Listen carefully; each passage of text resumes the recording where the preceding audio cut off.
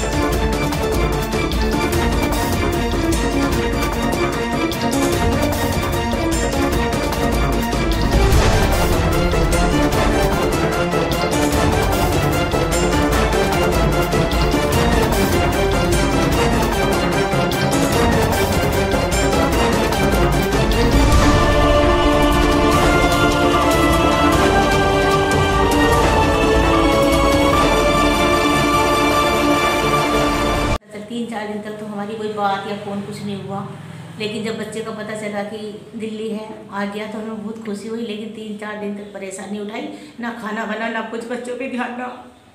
नहीं लग रहा है हमें खुशी है, लेकिन हमें जो बच्चे हुआ या जो हुआ लड़ाई हो रही है, उसका भी काफ़ी दुख हो रहा है। कल भी एक बेटी हमारी आई थी, धैर्य भी। उसी के द्वारा मुझे अभय के विषय में पता लगा था कि ये भी यूक्रेन होते हैं। तो कल ही बात हो गई थी कि इनके घर आना है। तो आज हम सब अपनी टीम के साथ पूरी भारतीय जनता पार्टी की टीम हमारे साथ है। और हर घर जाकर हम उनके परिवार को सैकुशल आने की बधाई दे रहे हैं और उनको मिठाई खिलाकर उनका स्वागत कर रहे हैं। और बहुत ही एक अच्छी बात है कि भारत के प्रधानमंत्री माननीय मोदी जी के प्रयास से ही ये काम हो पाया है कि आज पूरे विश्व में माननीय मोदी जी ने भारत का एक ऐसा परचम लहरा दिया है कि उस तिरंगे की शान ऐसी बनी है जो आज तक कभी बनी नहीं। जो बच्चे आए हैं यूक्रेन से लौट के, हर बच्चा ये कह रहा है कि उस झंडे की वजह से ही भारत के ही बच्चे नहीं बल्कि विदेशों के बच्चे भी अपने भारतीय झंडे को लगाकर और वहाँ से निकलने का प्रयास कर रहे हैं। और हमारे जितने भी बच्चे हैं, लगभग लगभग सभी बच्चे सैकुशल भारत लौट चुके हैं। ऐसा कैलकुलेशन तो नहीं लग पाया कि कितने बच्चे क्योंकि मुझे ये नहीं पता है कि कितने बच्चे वहाँ गए थे। लेकिन जितना मुझे अपने संपर्क से पता लग रहा है कि जो बच्चे आए हैं हमारे ग्रामीण क्षेत्र से भी और नगर क्षेत्र से भी तो हम लोग प्रयास कर रहे हैं कि उनके घर घर जाकर उनके सैकुशल आने की बधाई और उनके स्वागत में जाएँ। मैं अभी फ़िलहाल सेकेंड ईयर में हूँ तो साल हो गए वहाँ पे रहते हुए। और अभी करंट सिचुएशन के हिसाब से वहाँ पे मैं 26 तारीख से वहाँ पर आई हूँ। और 24 तारीख से वहाँ पे वॉर शुरू हो गई थी तो एक्सप्लोजन बॉम्बिंग ये सब चल रहा था। वहाँ तो लगभग छब्बीस की सुबह हम वहाँ से चले थे रोमानिया बॉर्डर की तरफ़। फिर वहाँ पर घंटों लाइन वगैरह में लगने के बाद, बहुत मुश्किलों के बाद फिर रोमानिया के बॉर्डर से निकले हम वहाँ पर। फिर एयरपोर्ट के पास पहुँचे और वहाँ रोमानियन फैमिली के साथ रहे फिर वहाँ से एक दो दिन बाद एयरपोर्ट के लिए निकले। वहाँ पे सारी मदद सरकार के द्वारा ही है उन्होंने एम्बेसी से बात करी रोमानियन एम्बेसी यूक्रेनियन एम्बेसी और रशियन से भी कि हम लोगों को वहाँ से सेफली निक, निकाला जाए और फिर वहाँ पर उन्होंने प्लेन्स अवेलेबल कराए। In fact C seventeen aircraft उससे भी बच्चे आए हैं। जिस जिस दिन मैं निकली उस दिन लगभग हज़ारों बच्चे उस शहर से निकले थे मेरे साथ और और मतलब अलग अलग स्टॉप पे थे बसेस गई थी लगभग छः सात बसेस हर एक स्टॉप से निकली थी वहाँ उस दिन। घर आके वहाँ से निकल के बहुत अच्छा लग रहा है, पर बुरा भी लग रहा है कि वो कुछ बहुत सारे लोग वहाँ पर फंसे हुए हैं अभी भी। निकले वहाँ से जल्दी। मैं यूक्रेन में इवानो प्रैक्टिस नेशनल मेडिकल यूनिवर्सिटी का छात्र हूँ और मैं वहाँ पर दूसरे ईयर में पढ़ता हूँ और मेरी अभी एक महीने की पढ़ाई बाकी है।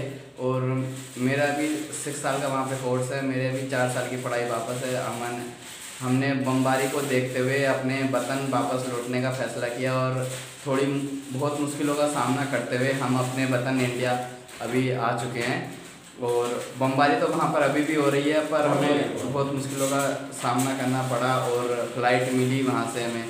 हम दिल्ली आए, दिल्ली से फिर उसके बाद अपना थोड़ा रात रात का समय तय करके हम अपने घर पहुँच चुके हैं।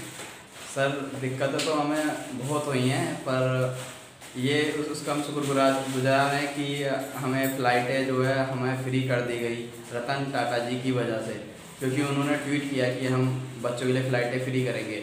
और जो रोमानिया बॉर्डर से पहले की स्थिति है वहाँ पे हमें बस ने पन, अपने हमने बस अपने आप की जो उसका किराया भी हमें खुद से देना पड़ा और हमें पंद्रह बीस किलोमीटर पैदल चलना पड़ा और उसके बाद सभी बच्चों के पैरों में छाले पड़ चुके थे, जूते वूते सब टूट चुके थे।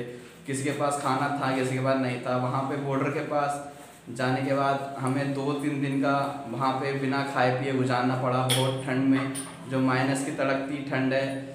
और वहाँ पे बहुत ठंडा था, किसी के पास चादर, कंबल कुछ नहीं था। बच्चे अपने खाने पीने का प्रोग्राम भी आपस से मांग के कर रहे थे, आपस घरों से। कुछ लोग मदद के लिए आ रहे थे, पर सरकार ने रोमानिया बॉर्डर से पहले कुछ नहीं किया। पर रोमानिया बॉर्डर के बाद की जो एम्बेसी थी, उन्होंने वहाँ की रोमानिया सरकार ने हमारे लिए बहुत कुछ किया।